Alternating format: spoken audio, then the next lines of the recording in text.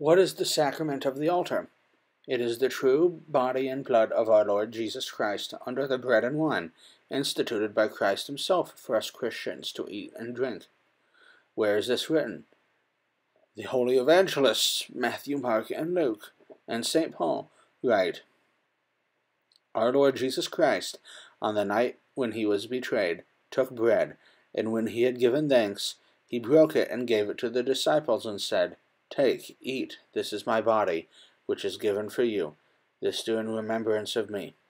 In the same way also he took the cup after supper, and when he had given thanks, he gave it to them, saying, Drink of it, all of you. This cup is the New Testament in my blood, which is shed for you for the forgiveness of sins. This do as often as you drink of it, in remembrance of me. What is the benefit of this eating and drinking?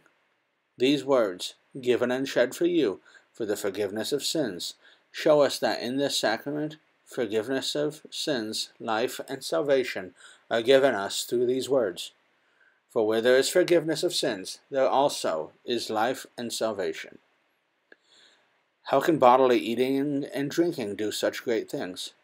Certainly not just eating and drinking do these things, but the words written here given and shed for you for the forgiveness of sins.